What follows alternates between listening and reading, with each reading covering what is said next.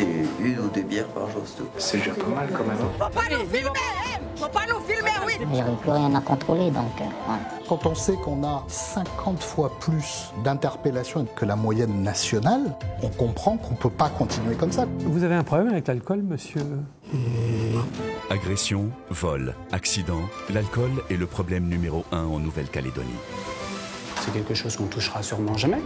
Parce que l'argent, euh, pas l'argent quoi. Nous, on dit qu'il faut des taxes dédiées sur l'alcool.